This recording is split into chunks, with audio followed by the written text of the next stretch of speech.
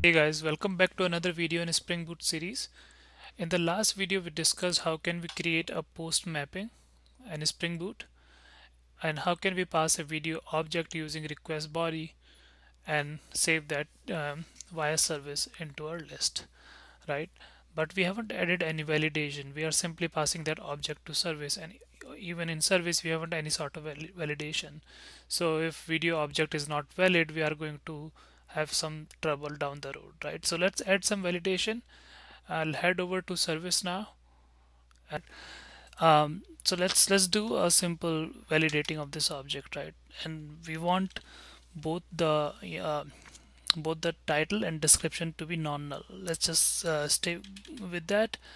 And uh, I'll create a a function a validator validating function right? And we'll say is valid and that takes in a video object right? And how do we validate that? What do we want to validate? We want to say um, if video dot get title is null or video dot get description is null right? Then just simply return false right? So false will say it is not valid right else return true.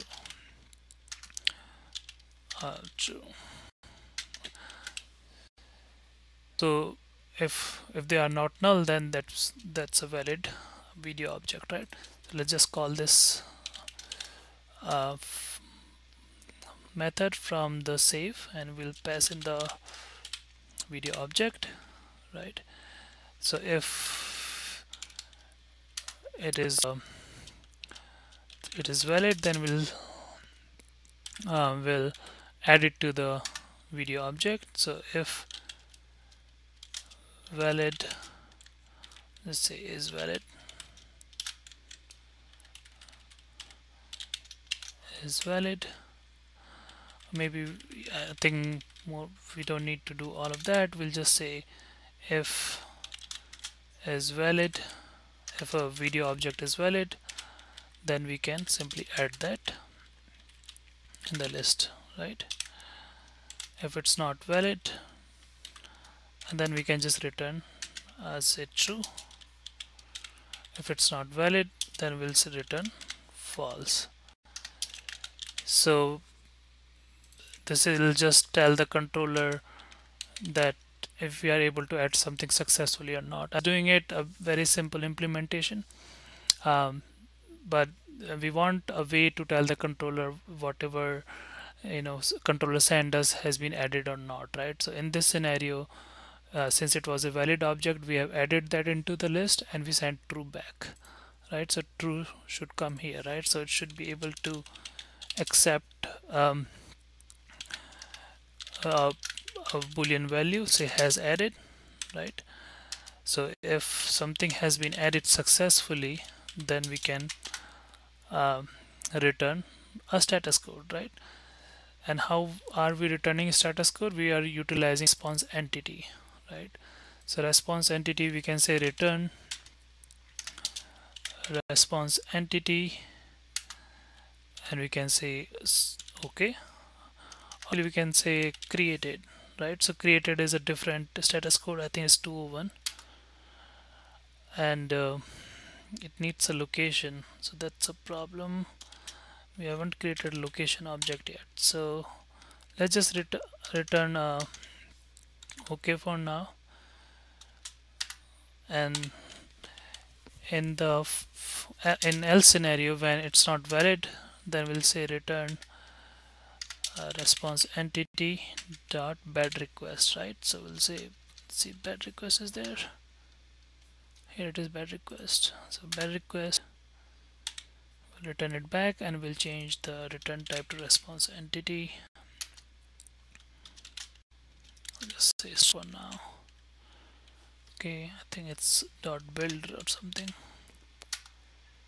Okay. Let's change also. Build. Okay. So um, if it's successfully added we are just saying okay so return uh, we're just sending 200 back otherwise it's a bad request right? So let's rerun our server. Stop and rerun. Um, yep I think it looks it looks just fine. Let's go back. I think server is coming back up. Let's go back to Postman and try to hit the request. So we should have since I have started the server we'll, we'll just see two objects again because we are not persisting uh, the data.